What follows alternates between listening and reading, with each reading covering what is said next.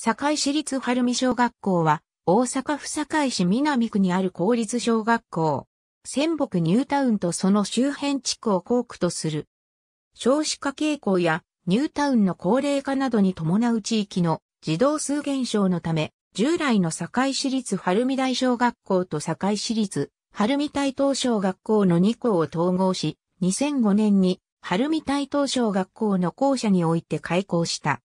新校舎は2005年から2006年の2年間で、晴海大小学校跡地を整備して建設され、2007年3月に移転を行った。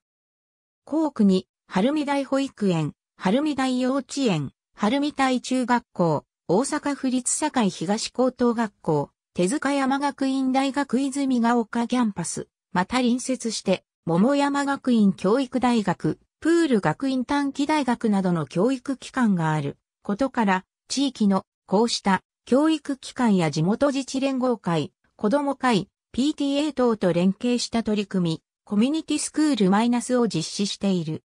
こうしたことから、晴海小学校では園児から大学生、さらに地域の高齢者を含め多くの外部の方々が様々な形で連携や交流を持ち、子供たちの教育活動の充実を図ってきている。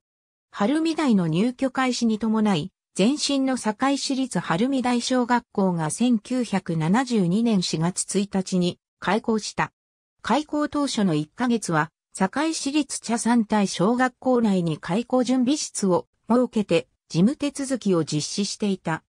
1972年4月下旬に校舎が完成し、1972年5月1日より児童受け入れを開始した。